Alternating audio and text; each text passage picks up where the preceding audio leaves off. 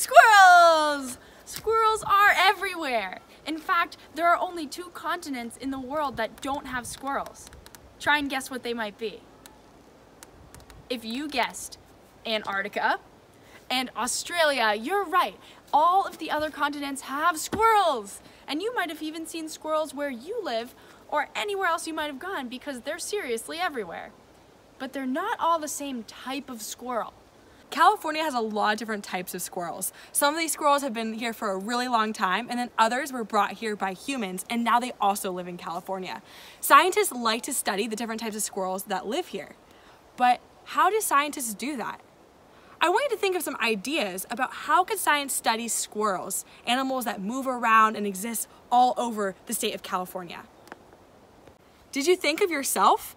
You can actually be part of science. And when we have other people, just citizens being part of science, it is called citizen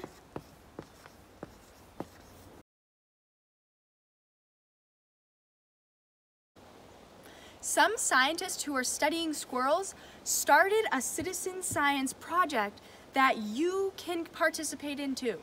All you have to do is look for squirrels and then enter in what you find on their website. So today we're going to help with that project. We're gonna do some citizen science and hunt for squirrels, and then later we'll enter it in on the scientist website and we'll show you how to do that.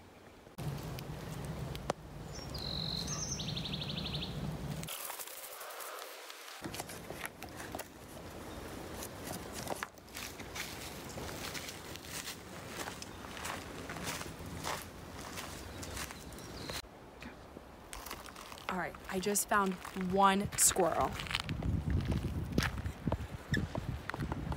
And I want to be able to figure out what kind of squirrel I found here at Foothill Horizons. So I'm gonna write down what I noticed about it. I noticed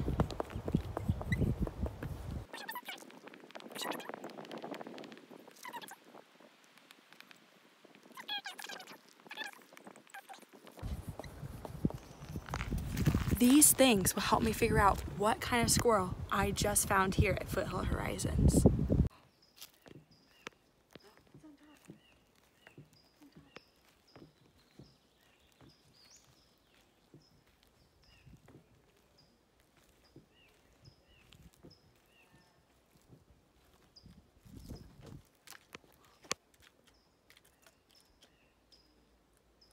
Just seen a squirrel in the top of this tree right here jumping. It was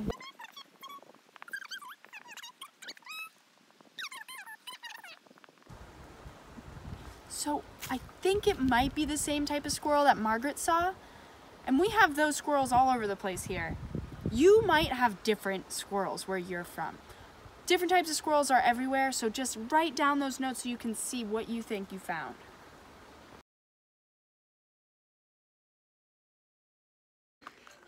Now that we went for a walk and we found some squirrels, we're gonna head over to the website where we enter data and help these scientists with their citizen science project. This is on a website that's linked in the caption and you can make a free account and then you can enter your data. So let's go over and see how Margaret's gonna enter our data. So Renee and I are on this website and it's called SciStarter and this is the Project Squirrel.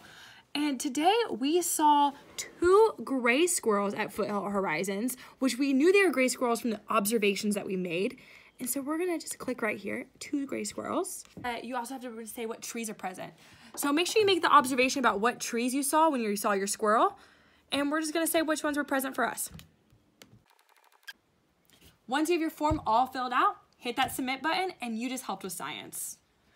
Then what you can do is you can check out this super awesome map, which shows the data entries from all over the world of where squirrels have been sighted. It is super easy for you to help with this science project from your own home. You should try and see how many squirrels you can find and enter them into this project to help scientists with their data. There are also so many other citizen science projects. Just Google citizen science and you can find one that you can do from home. Good luck.